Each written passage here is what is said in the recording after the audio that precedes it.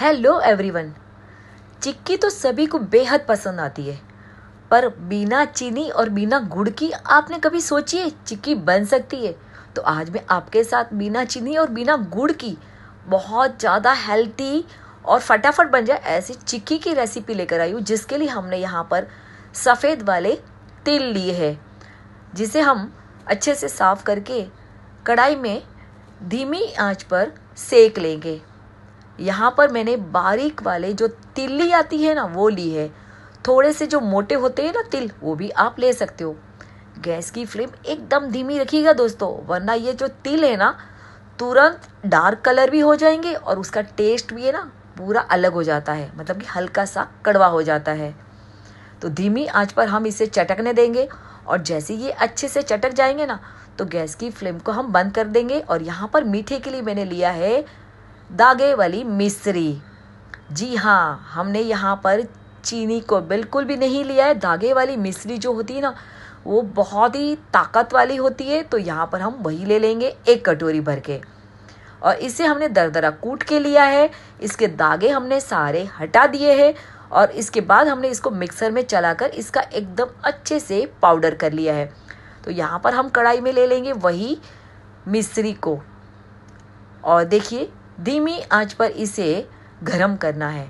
हमारा जो ये पैन है ना ऑलरेडी थोड़ा सा गर्म है। इसी में हम यहाँ पर जो हमारी धागे वाली मिश्री को डालेंगे तो तुरंत इसमें गट्ठे पड़ने लगेंगे। और आप देखोगे ना, तीन से चार मिनट के अंदर ये पूरी पिघल जाएगी। और देखिए, कुछ इस तरह से ये हो चुकी है। पूरा जैसे कैरेमल होता है ना, उस तरह से ये मिश्री का कलर हो चुका है। गैस की फ्लेम एकदम धीमी रखिएगा दोस्तों। और यहाँ पर मैंने सिर्फ़ वन फोर टी स्पून के जितना घी ले लिया ताकि इसमें बहुत अच्छा टेस्ट आ जाएगा। और यहाँ पर हमने जितनी मिश्री ली है ना, उतना ही हम यहाँ पर तिल ले लेंगे। और इसे अच्छे से मिक्स कर लेंगे। गैस की फ्लेम को हमने यहाँ पर बंद कर दिया है, और एकदम जो हमारा ये मिश्री गर्म है, उसी के अंदर इसको मिक्स कर लेंगे। ना कोई पाक बनाने की झंझट है, और ना कोई इसके लिए एक्स्ट्रा तानजान। बस, मेरे पास ऐसे ना एक जो प्लास्टिक आते हैं ना, मोटे वाले, जिसमें ड्राई फ्रूट वगैरह आते उसके ऊपर मैंने हल्का सा घी लगा दिया था।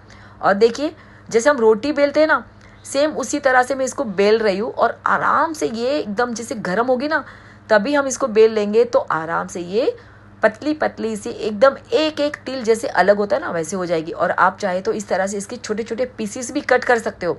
पर मेरे घर पे है ना पीसीस के बदले में जैसे एकदम कोई सेप ना हो ना, ऐसी पतली पतली सी इसको, हमारे कच्ची में इसको तिल साकड़ी कहते हैं, वो पसंद है।